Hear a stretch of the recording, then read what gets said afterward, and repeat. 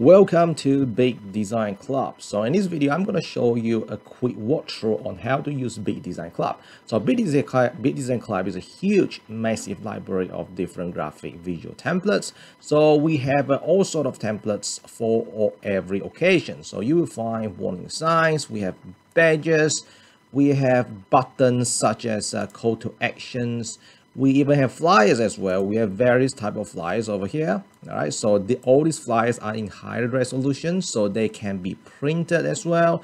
And we also have all sort of stuff over here. So we have quotes we have stickers we have a badges as well right up here. We have badges so we have all sort of stuff. And we have a huge library of 3d mockup as well so such as 3d ebook design. And we have boxes 3d boxes all right so we have corporate identity okay? So we have ebooks as well. So all these 3d ebooks you know they are perfect for creating that kindle cover.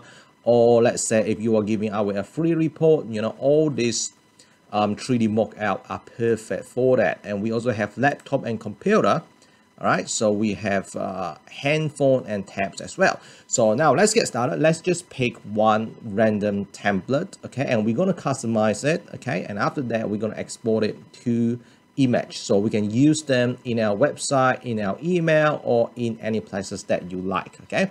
So let's pick stickers all right so we're going to head over to the sticker patch over here and we're going to randomly pick one of the sticker that we like. Now for this demo purposes we're to randomly pick um, pick one of the uh, stick over here. So let's just imagine for a second that we are running a 50% sales on our website. So what we're going to do is that we're going to pick this, um, this image right here. So we're going to edit the 70%. So instead of 70%, we're going to customize it to 50%. So what we need to do is just to click on the edit online button over here and our online editor will pop out. And after that, what we need to, need to do is just to customize it inside our graphic editor over here. All right, so everything has been loaded. All we need to do is to click on the text button over here, the type 2. Now, if you have used Photoshop before, this is pretty much a walk in the park. But even if you don't, it is very, very straightforward as well. So all you need to do is to, um, if you want to edit the text over here, all we need to do is to click on the text tool over here. Or what we're going to do is that Alternatively, we can select this very layer here. To select this very layer here, all we need to do is to right click. And after that, you just select the 70% over here. Okay, so you select the 70% over here, then you click on the text tool over here, then you click on the text layer that you like to edit. So we're going to modify this one to 50%. So I'm going to replace it with 50%.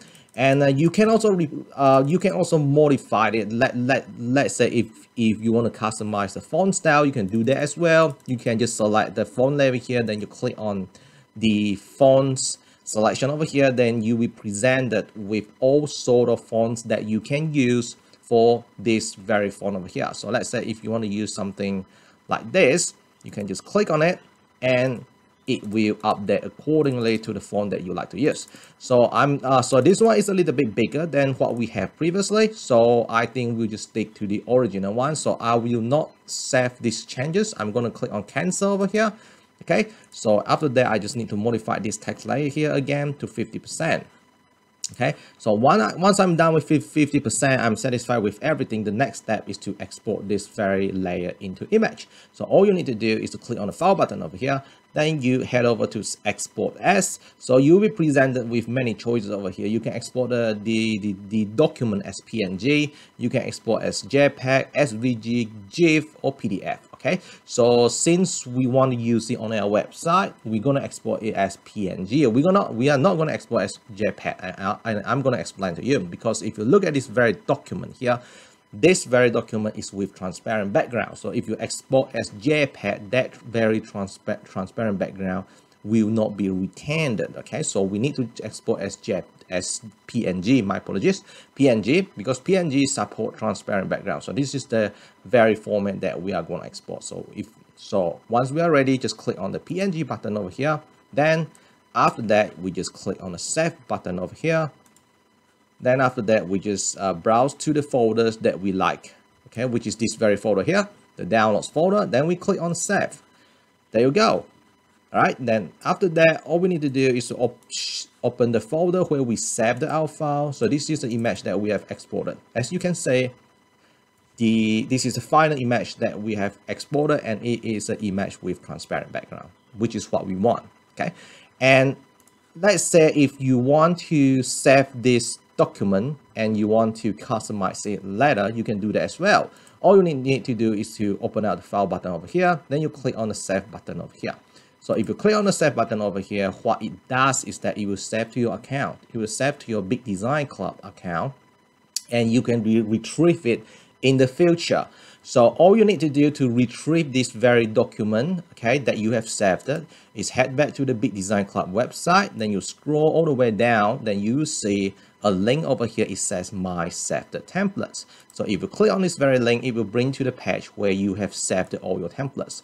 So this is the template that we have saved a while ago. All right, so all you need, need to do over here uh, in the later stage in the future, let's say you want to come back to this very uh, this very document again, you just need to click on the edit button. So if you click on the edit button, all right, it will open out this uh, the graphic editor again, and you can reuse this very template again. Okay, and there is, is another way you can save this template as well, because we want to provide a lot of flexibility to you in a situation where you do not want to save this very template inside your Big Design Club. What you can do is that you can click on the save button now, my apologies, you can click on the file button, then you can click save as PSD. Okay, so if you click save as PSD, all right, you can you can save this very template in your computer, and after that, you can open out this PSD file in the future. Okay, so you can open you you can even open the PSD file using Photoshop if you have a Photoshop soft software. Is that easy? All right, so that is the end of our quick walkthrough video and I thank you very much for watching.